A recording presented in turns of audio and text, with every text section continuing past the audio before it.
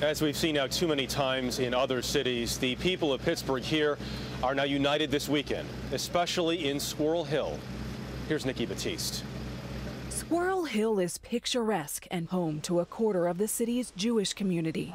What's the one word you would use to describe this community? Well, there's a, there's a Hebrew word called achdus, Which means? which means unity. Shlomo Perlman's Judeo bookstore has been part of the neighborhood since the 1950s. It doesn't matter what we do, where we work, where we go to synagogue or church, we're neighbors. This sprawling community is a throwback in time.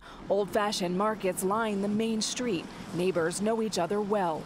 There are lots of things to wonder about in this world. It was also Mr. Rogers' real life neighborhood. Fred Rogers grew up in this house, just a few blocks from the site of yesterday's deadly shooting.